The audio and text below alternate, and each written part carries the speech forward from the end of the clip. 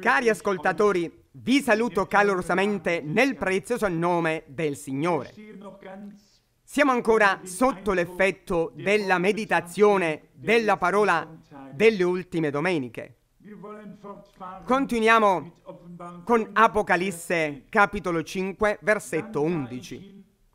E vidi e udii voci di molti angeli intorno al trono, alle creature viventi e agli anziani. E il loro numero era di miriadi di miriadi e migliaia di migliaia. Zuerst waren es die 24 All'inizio furono i 24 anziani e le quattro creature viventi a cantare il nuovo cantico. Ma qui Ci sono già tutte le schiere celesti riunite intorno al trono e le quattro creature viventi e i 24 anziani. Loro hanno gridato a gran voce, degno è l'agnello che è stato immolato di ricevere la potenza, le ricchezze, la sapienza, la forza, l'onore, la gloria e la lode. Si tratta del compimento dell'opera di redenzione, l'incoronazione dell'agnello come re dei re, che assumerà il suo potere ed eserciterà il dominio. In Kapitel 4 Nel capitolo 4, versetto 11, leggiamo quasi le stesse parole di colui che siede sul trono.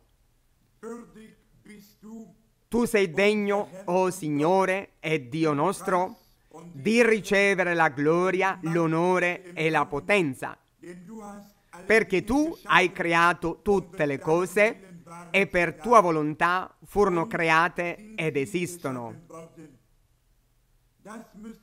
Questo dovrebbe convincere tutti della correttezza dell'unità di Dio. Altrimenti si dovrebbe dare gloria separatamente al Padre, poi al Figlio e poi allo Spirito Santo. in questo contesto non troviamo più i termini Padre, Figlio e Spirito Santo, ma il termine Signore nostro Dio, come è scritto nella parola profetica. L'agnello di Dio si mostra nel compimento dell'opera di redenzione. Tutto il cielo grida a gran voce, degno è l'agnello che è stato immolato di ricevere la potenza, le ricchezze, la sapienza, la forza, l'onore, la gloria e la lode. In questo capitolo ci viene detto che i 24 anziani suonavano le arpe di Dio e cantavano il nuovo cantico. Ma in Apocalisse capitolo 15 der über leggiamo dei vincitori sul mare di vetro.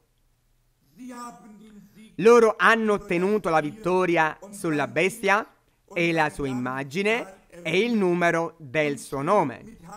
E stanno con le arpe di Dio sul mare di vetro.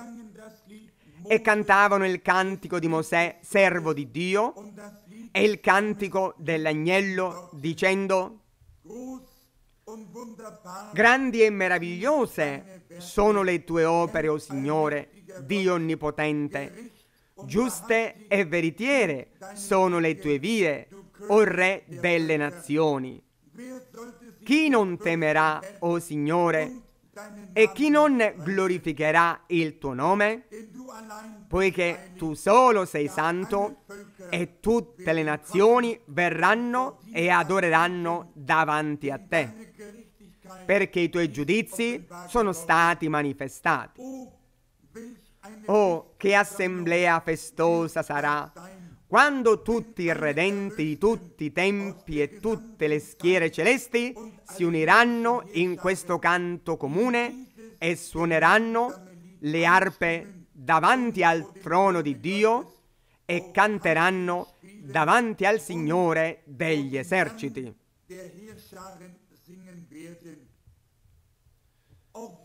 Anche noi gridiamo con tutto il cuore Amen. Ci prostriamo davanti al Signore per adorarlo e aspettiamo quel giorno glorioso. Paolo, guidato dallo Spirito, esprime già il desiderio dei figli di Dio e anche il desiderio di tutta la creazione per il giorno della liberazione. Egli scrive in Romani capitolo 8 dal versetto 18 Infatti io ritengo che le sofferenze del tempo presente non siano paragonabili alla gloria che deve essere manifestata al nostro riguardo, denn das sehnsüchtige Harren poiché la creazione aspetta con impazienza la manifestazione dei figli di Dio.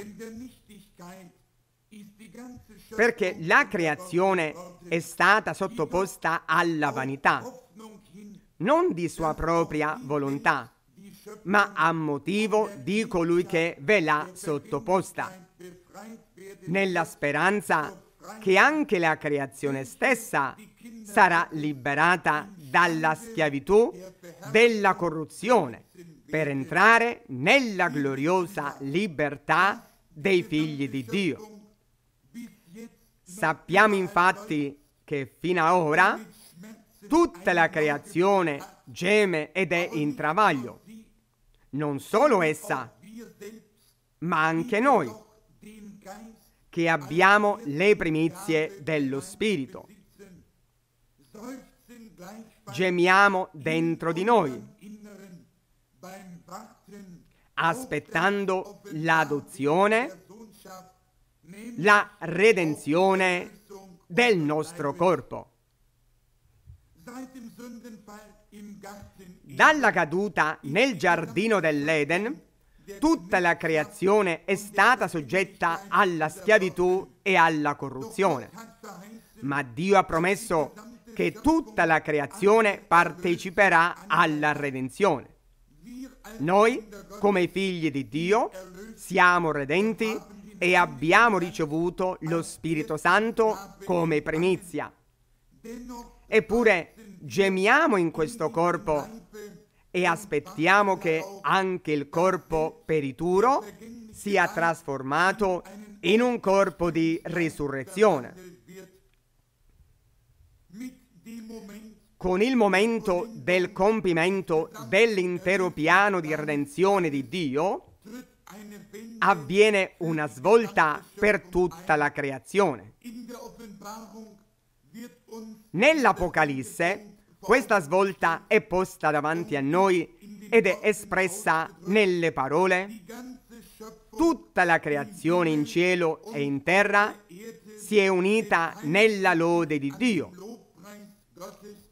Le quattro creature viventi gridarono Amen. I 24 anziani si prostrarono e adorarono.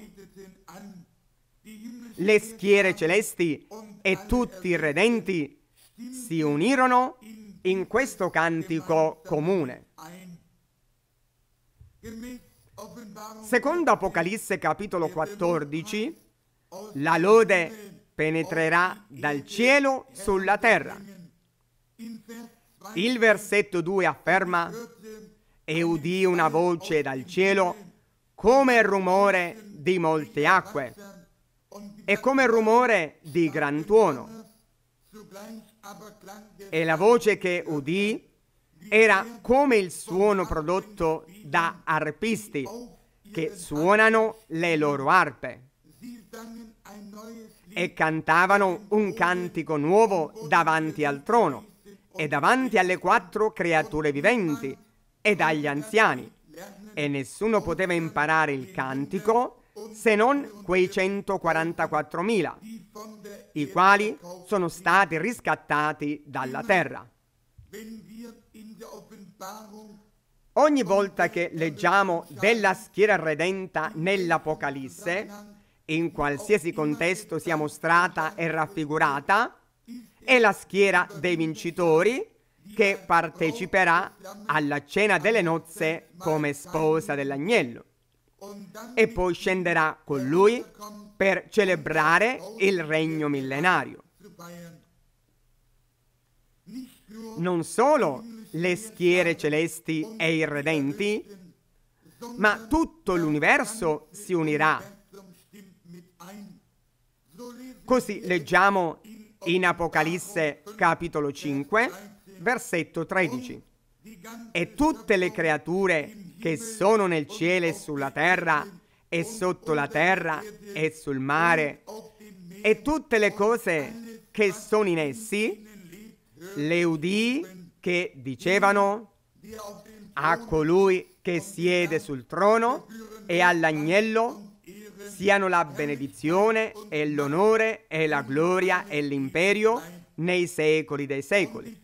E le quattro creature viventi dicevano Amen. E gli anziani si prostrarono e adorarono.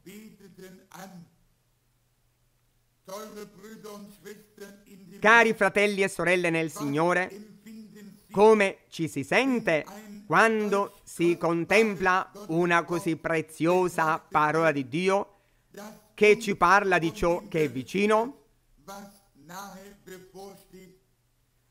Tutti i profeti e gli apostoli, tutti i figli di Dio stanno aspettando quel giorno glorioso del ritorno di Gesù Cristo il giorno in cui i nostri corpi mortali saranno vivificati e trasformati, il giorno in cui vedremo Gesù Cristo, il nostro amato Salvatore, faccia a faccia. Tutta l'ingiustizia, tutta la sofferenza, tutto il dolore e la morte non ci saranno più. Dio stesso asciugherà tutte le lacrime dai nostri occhi. Ci siederemo per celebrare la cena delle nozze dell'agnello. Sta scritto le cose che occhio non ha vedute e che orecchio non ha udite e che non sono salite in cuore d'uomo sono quelle che Dio ha preparate per coloro che l'amano. Cari ascoltatori, abbiamo compreso il piano di salvezza di Dio con i suoi? Abbiamo compreso che lo Spirito Santo, secondo la parola di Dio, è all'opera nella sua Chiesa fino a quando essa starà perfetta davanti al suo trono? Poiché ora viviamo negli ultimi giorni, L'agnello ha aperto il libro. I suggelli sono stati aperti e il contenuto è stato rivelato. Voglio gridare a tutto il mondo che il Signore stesso ha detto al suo servitore William Branham il 28 febbraio 1963 ritorna in Oriente perché è giunto il tempo di aprire i sette suggelli. Nel marzo 1963 il fratello Branham ha parlato dei sette suggelli come gli sono stati mostrati e aperti tramite rivelazione. Se Dio vuole, parleremo brevemente di ognuno dei sette suggelli nei sermoni a venire. Il libro sui sette suggelli è già disponibile in lingua tedesca. Considero un grande privilegio poter trasmettere i misteri di Dio ai figli di Dio in questo tempo. Preghiamo. Signore mio Dio, ti chiedo di parlare al tuo popolo in tutto il mondo, perché il tempo è serio e breve. Che sappiano che tu hai parlato al tuo popolo. Lo chiedo nel nome di Gesù. Amen.